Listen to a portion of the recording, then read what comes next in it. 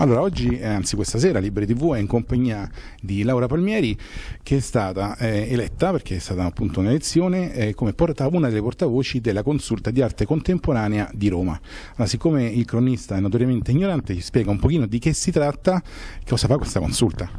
Allora, la consulta è una cosa molto democratica, interessante, perché mh, è un modo per rapportarsi all'amministrazione e eh, diciamo gli addetti ai lavori dell'arte contemporanea contemporanea a Roma si sono messi insieme nel tempo, quindi da circa tre anni era nata questa cosa, con l'intento di parlare e di rapportarsi ai problemi, alle necessità dell'arte. In questa situazione io sono stata eletta perché c'era bisogno di avere degli interlocutori artisti e eh, siamo stati eletti mh, cinque persone che sono più o meno delle persone che si occupano di arte contemporanea appunto, due critici e tre artisti. E io sono l'unica artista donna e ci tengo perché mi fa piacere che ci sia una rappresentanza femminile e quindi è, è stata una delle motivazioni per cui mi sono candidata. E molti artisti che sono che volevano fare delle cose, eh, abbiamo saputo che la, l'assessore Flavia Barca voleva parlare con la consulta di arte contemporanea, siccome ci sono dei gravi pro- problemi a livello di museo, per esempio il macro, perché il macro è senza direttore da un sacco di tempo, non abbiamo una visibilità e non abbiamo un interlocutore che possa... Eh, ci siamo riuniti e molto democraticamente abbiamo fatto delle elezioni e siamo stati eh, eletti da moltissimi artisti. Roma è una città che ha veramente moltissimi artisti, quindi questa è una cosa interessante perché non si, non si vede mai, non si dà mai voce alle necessità perché Roma è una città dove ci sono degli spazi vuoti eh, che potrebbero essere affittati agli artisti in maniera anche molto democratica con dei concorsi, ci sono dei musei che sono un po' allo sbando. E questo sarebbe bello perché noi abbiamo delle idee, quindi vorremmo portare avanti dei progetti, stiamo organizzando dei tavoli, delle commissioni un modo per lavorare insieme, abbiamo un po' fretta perché ci sono delle necessità urgenti, perché ad esempio il macro è senza direttore da sette mesi, quindi si ferma tutta l'attività di un museo. Ora questi musei sono costati un sacco di soldi, 25 milioni di euro, cioè delle cifre spaventose. Allora in questo momento si tende a, um, alcuni per esempio vorrebbero lavorare sulle periferie, io per quanto mi riguarda dirò una cosa come Laura Palmieri, mi piacerebbe eh, sfruttare le, le, le strutture che già ci sono perché è inutile che noi andiamo a cercare altre strutture anche se in realtà l'esigenza degli artisti è quella di trovare per esempio nelle caserme dismesse si potrebbe fare degli spazi autogestiti dagli artisti o comunque degli studi che è la, cosa, la nostra urgenza massima perché Roma è molto cara per gli spazi e noi abbiamo bisogno di spazio. Poi l'altra cosa è che questi musei, mh, mm, cioè que- questa cosa della divisione tra centro e periferia è una cosa che va un po' sfatata perché cos'è il centro storico, cos'è il centro di una città? Il centro è dove sei tu, il centro è dove si succedono delle cose. Allora è vero che molti cittadini ormai vivono in periferia, non gli importa più niente del centro, comunque eh, diciamo che per farsi belle le amministrazioni continuano a ripetere delle frasi fatte, per esempio dicono eh, faremo di Roma una città internazionale. Roma è già una città internazionale, è già una capitale del mondo, ce le ha già queste forze, quindi la, il nostro intento è quello di tirarle fuori, di farle vedere, perché veramente c'è un, uno scollamento tra la realtà e il mondo dell'arte che io vorrei suggerire soprattutto ai politici, l'arte è una cosa che si vede, quindi vi, vi, vi, ritorna anche come immagine anche a voi, quindi fate qualcosa, non queste cose ridicole di andare a farsi colonizzare dall'arte americana. Noi abbiamo visto passare qui un sacco di mostre inutili, pacchetti di mostre, cose che vanno in giro così inutili. Quando qui avete un humus culturale fantastico, perché Roma è sempre stata una città molteplice, ci sono stati tantissimi tipologie di gruppi, c'è stato sempre un dialogo, noi siamo abituati ad andare in giro con artisti che magari fanno una cosa completamente diversa dalla nostra, però siamo amici, poi magari siamo nemici sul lavoro, però insomma c'è una forza in questo, c'è un, un modo e come, eh, quindi in questo momento sentiamo l'esigenza di portare fuori questa energia, di, di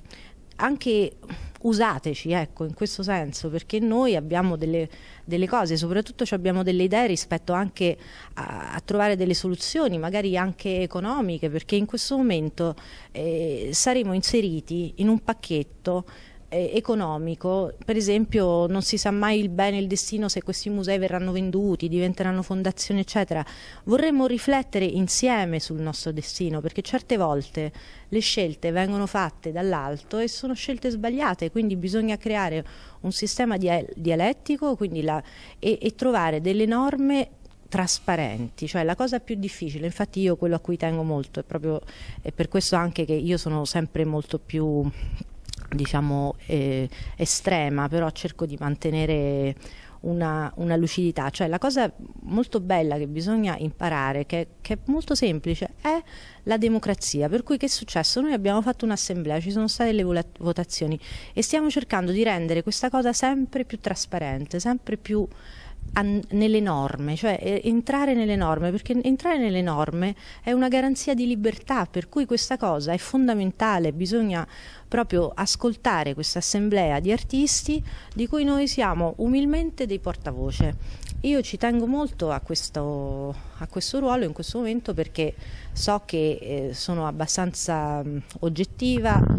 ma anche so difendere delle cose importanti che eh, con tanti artisti discutiamo sempre, per cui le cose importanti per noi sono gli spazi espositivi, gli spazi comuni, gli spa uno spazio dove poterci riunire, per esempio con la consulta, penso che adesso ci riuniremo intorno al macro perché in questo momento è non è utilizzato, però sarebbe bello che noi non fossimo scelti così a caso, ma che ci fosse proprio avviare diciamo, un percorso di eh, rispetto per quello che succede, perché quello che sta succedendo è che stanno dividendo l'arte in arte alta finanza e poi lasciano tutto il resto come se fosse un territorio dove si va a chiappare. Non è così, cioè non è una scorreria. La, l'arte è un territorio dove si dialoga di cultura, il museo è il tempio laico per eccellenza, cioè il museo è il simbolo del, della molteplicità, dove, dove, dove, non ci sono differenze di religione, di razza, di, di, di niente, di, di, genere, quindi eh, dovrebbe essere il luogo dove non so, e questo per Roma è molto importante perché noi qui veramente abbiamo il Vaticano, quindi sono delle, de, dei posti dove sono il, il massimo rispetto della laicità e della democrazia, per cui andrebbe rispettata questa idea. Ecco, io questo penso, spero che avvenga. Poi è chiaro, ognuno farà delle cose, ognuno, ci sono tanti gruppi, ognuno vuole dire delle cose diverse e sarà nostro compito rispettare quello che diranno i vari gruppi perché appunto vale l'assemblea della consulta dell'arte contemporanea a Roma. Grazie. Laura, una volta volevo fare una domanda, eh, da quanto tempo è che esiste questa, questa consulta? Questa consulta più o meno da tre anni, era nata da un gruppo spontaneamente in cui c'erano alcuni, si chiamava Occupiamoci del contemporaneo, proprio perché c'è sempre come in tutte le cose italiane questa urgenza. Allora tutti, eh, ogni volta, siccome a Roma c'è una una speculazione, cioè l'unica industria romana sono i palazzinari, diciamo la verità. Allora che succede? Loro sono in contatto, loro sì che sono in contatto stretto con la pubblica amministrazione, per cui restaurano, chiudono i musei, li mettono in sicurezza. Vediamo questo museo all'Euro adesso, il museo romano. Eh, che succede? Eh, lì ci vanno 10 persone al giorno, basterebbe chiamare i vigili e dire fate entrare 10 persone per... se ci vanno 10 persone al giorno, perché poi inoltre questi musei sono pure vuoti, questa è la cosa più drammatica perché non c'è promozione. Allora che succede? Questi musei vengono restaurati, si creano queste strutture gigantesche che poi vanno gestite. Quindi la gestione dovrebbe farla il Comune di Roma, perché spesso nei musei comunali c'è il Comune di Roma che li gestisce. Allora che succede? Ness eh, il Comune di Roma non ha abbastanza fondi, però magari hanno messo 25 milioni di euro per fare un museo, per restaurarlo, per... e allora dopo di questo museo non gliene importa più niente a nessuno, l'importante è che si sia speculato sulla costruzione. Allora su questo bisogna essere anche questo, monitorare la, la, la struttura della consulta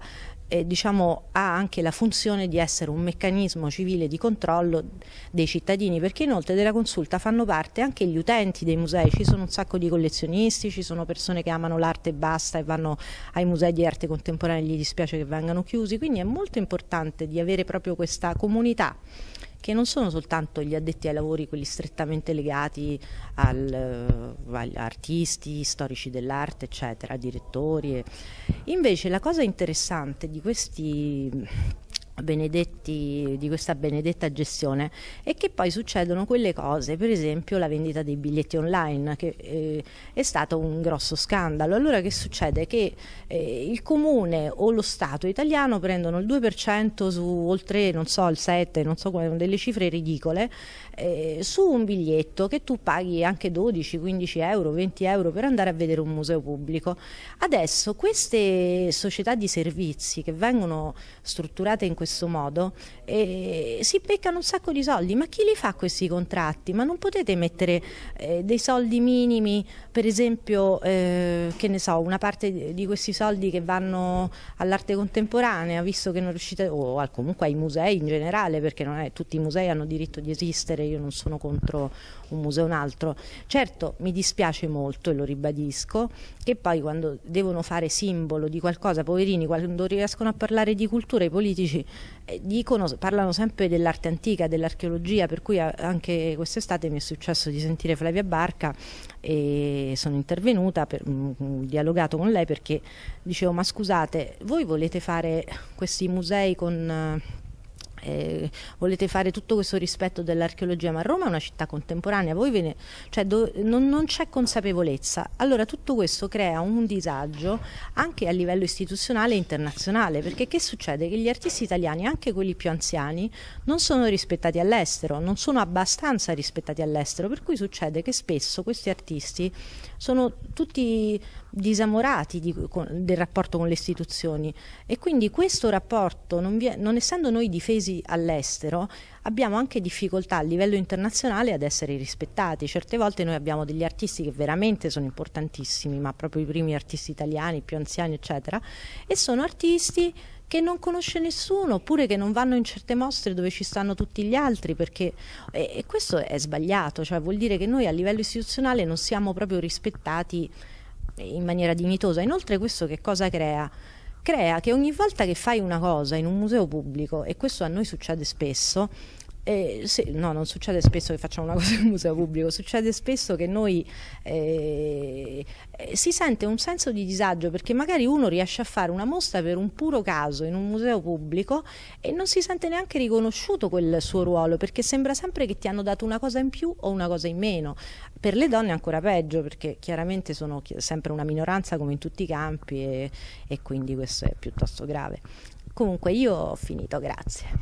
Bene, allora chiediamo questa... Capito, spero si sia capito qualcosa. Come no, io ho apprezzato soprattutto diciamo, il concetto che potremmo sintetizzare al massimo con eh, l'appello, un appello tipo Roma non è una necropoli. Esatto,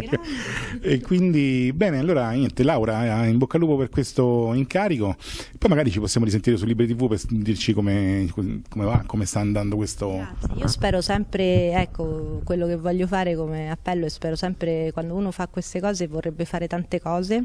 e poi subito c'è una macchina terribile di tecnica, proprio c'è una macchina che si muove e per fare le cose nel rispetto bisogna eh, avere un po' di pazienza, a me piacerebbe lavorare tutti i giorni, ogni secondo su questa assemblea, però indubbiamente abbiamo dei tempi tecnici, quindi alla fine l'assemblea sarà a fine febbraio e,